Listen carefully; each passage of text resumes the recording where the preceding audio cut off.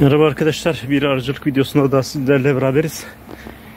Özellikle e, larva transferinde ana arıların yani yapılan transferlerin tutmamasının sebeplerinden biri şu olabilir. Yurt dışında yapılan bir araştırmaya göre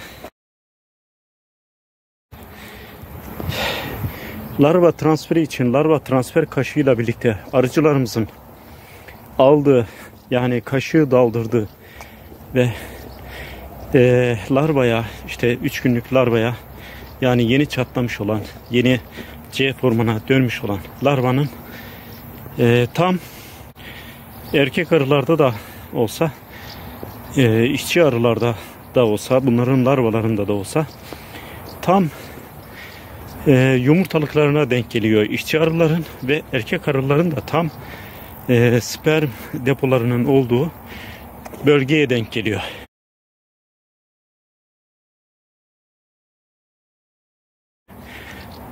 Ve bununla ilgili yabancı kaynaktan bir e, araştırma okudum ve gayet mantıklı geldi ülkemizde arıcıların nasıl yaptığı ile alakalı. Arkadaşlar e, kanalımıza abone olabilirsiniz. Abonelik ücretsiz ve yeni arıcılarımıza daha fazla ulaşabilmek için beğen tuşuna basmayı unutmayın arkadaşlar. Şimdi peki bunu nasıl yapacağız? E, aşılama larva transferinde tutturma oranlarını daha da arttırabilmek için. Yani tutturma diyeyim şöyle diyeyim. E, yani e, biz aşılama yaptıktan sonra arının bunları temizlediği temizlediği hücreden temizlediği durumların hemen hemen tamamı bundan kaynaklanıyor olabilir. Peki bu durumu nasıl aşabiliriz? Ee, iki farklı şekilde aşabiliriz. Öncelikle e, arıcılarımızın larva transferi nasıl yaptığıyla alakalı bir bilgilendirme vereyim. Larva, larva transferini nasıl yapıyorlar? Larva kaşığıyla birlikte yeni çatlamış olan en küçük C formundaki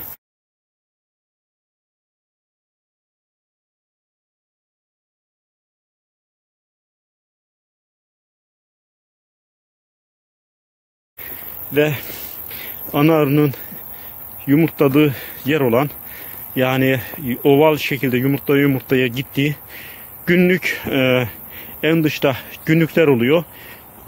En ortada yumurtlama şey olarak yeni kapanmışlar oluyor ve bu ikisi arasında e, sütlenme durumuna göre e, sütlenme miktarı değişen arı larvalar oluyor, işçi arı larvalar oluyor. Ve sütlenme durumuna göre günlük yumurtaların yani en dıştaki yumurta e, yumurtlanma sırasına göre en son yumurtlanmış olan yumurtaların bir ön sırasındaki e, sütlenmiş olanlar yeni çatlamış ve larva transferine uygun e, larvalar oluyor. Dolayısıyla bunları arıcılarımız alırken kolay almak için larva transfer kaşığını bunların C formunu sırt bölgesine değdiriyorlar ve hafif uca doğru hafif kuyruk bölümüne doğru yani her iki taraftan da bazen başına geliyor bazen kuyruk bölgesine geliyor. Ve larva transfer kaşını hücre kenarından aşağıya doğru daldırdığı nokta öyle bir yere denk geliyor ki tam da bu erkek arılarda eğer erkek yumurta erkekse erkek yumurtlanırsa tam sperm depolama bölümüne denk geliyor. İşçi arı ise bu yumurtlanan yumurta döllü ana arı döllü yumurtlamışsa bu sefer de tam spermleri depolayacağı e, çiftleştikten sonra depolayacağı yumurtalık bölgesine denk geliyor. Yani yumurtalıklarına zarar verilmiş olabiliyor. Bu transfer işlemi aşamasında bahsettiğim olay bundan ibaret. Bunu aşmak için iki çeşit yöntem var. Birincisi larva transfer kaşığını ıslatmak. Bunun bayağı bir faydası uygulama örnekleri olarak bayağı bir faydası var. Yani larva transfer kaşığını her e, larva alırken bir suyu suya değdirmek, nemlendirmek ya da işte bala dem değdirmek ya da arı sütü bal karışımına değdirmek.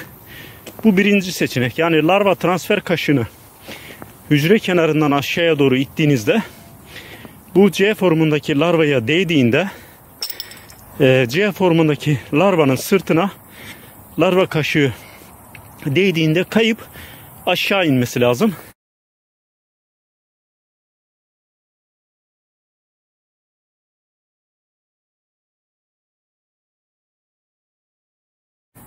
Sırtına zarar vermemesi lazım. Eğer larva transfer kaşığı ıslak olmazsa, kuru olursa bu sırtına değme ihtimali artabilir. Bu birinci seçenek. İkincisi de ıslak aşılama denilen bir yöntem. Bu şekilde aşılıyor sorun. İki şekilde.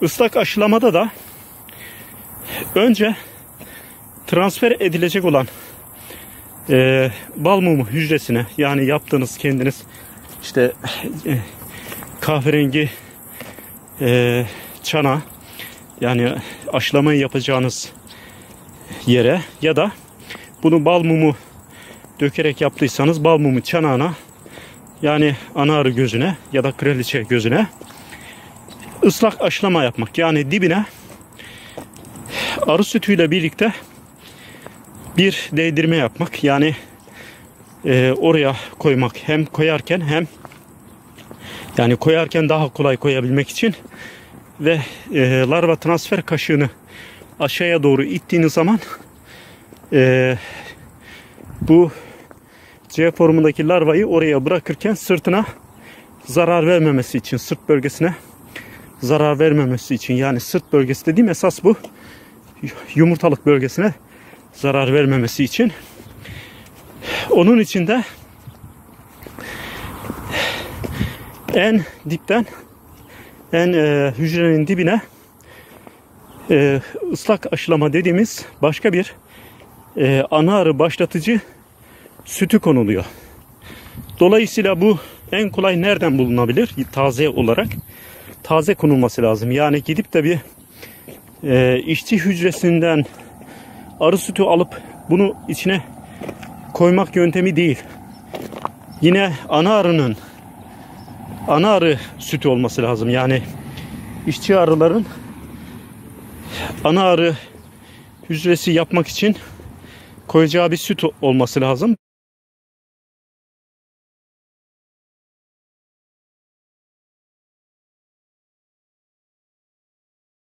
Bunu da ya çanakları bozarak e, larva aşılaması yapmadan önce ya çanakları bozarak ya da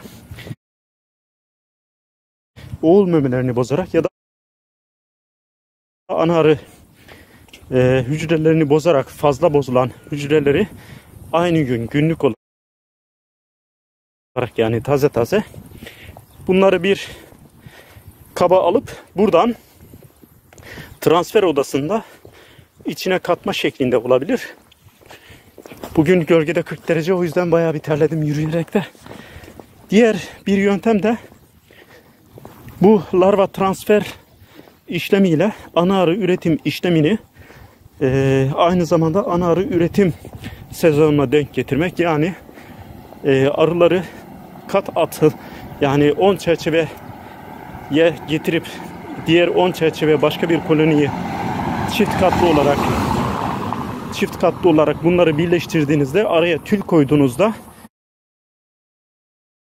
ilk 4 gün içinde yapacak olan e, memelerden ana arı memelerinden dibine dökülmüş olan dibine konulmuş olan bu ana arı jellerini e, meme bozarken dördüncü gün e, kat birleştirirken yani bunları bozarken bunları bir kapta toplamak ve bu toplanan kapları taze taze vermek. Yani Bu ne demek? Nisan, Mayıs, Haziran, Temmuz artık ne zaman e, arıyı bala yatıracaksan ana arıyı da tam o döneme ana arı üretimini ve larva transferini de tam o döneme getirip e, aynı anda bütün hepsiyle birlikte bunu halletmek. Şimdilik e, okuduğum bilgiden anladığım ve yorumladım aynı zamanda bizim özellikle de kestane öncesi ve kırçiçeği balı dediğimiz bal sistemine göre e, Nisan, Mayıs, Haziran aylarında yapabileceğimiz larva transferi bu olabilir. Başarılı şekilde olabilir. Bunu da bilginize sunmak istedim arkadaşlar. Bereketli olsun. Kanala abone olmayı unutmayın ve beğen tuşuna basmayı unutmayın arkadaşlar.